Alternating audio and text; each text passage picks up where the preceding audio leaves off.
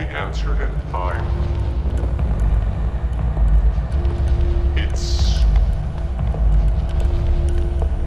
what we can do together that matters.